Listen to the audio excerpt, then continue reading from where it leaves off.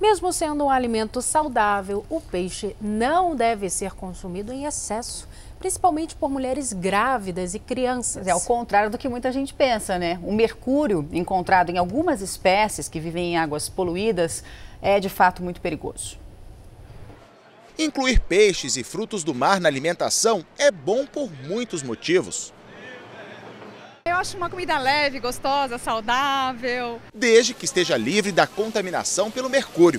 Os pescados com excesso do metal podem provocar uma série de danos para o organismo. O mercúrio é um metal como outros que gera intoxicação. Chegando no nível tóxico, ela altera a qualidade de visão, sistema renal, sistema cardíaco, sistema digestivo, especialmente o sistema neurológico. O mercúrio está presente na superfície da Terra de forma natural. O problema está nas atividades da indústria e mineração, que despejam uma grande quantidade do metal em rios e praias. E é daí que vem a contaminação dos peixes.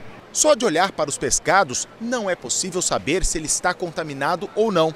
Mas algumas espécies têm uma concentração maior, como o peixe-espada, o agulha e cação. Os que têm pouco são salmão, sardinha, tilápia e truta. Camarão e lula também estão na lista dos mais saudáveis. A sugestão ideal que algumas organizações de saúde dão é de que se consuma no máximo 140 gramas de peixe cozido por dia. Agora, o cuidado maior deve ser com as mulheres grávidas, amamentando e crianças. E se o mercúrio fica escondido, antes de qualquer coisa, o mais importante é comprar peixes e frutos do mar em locais de confiança.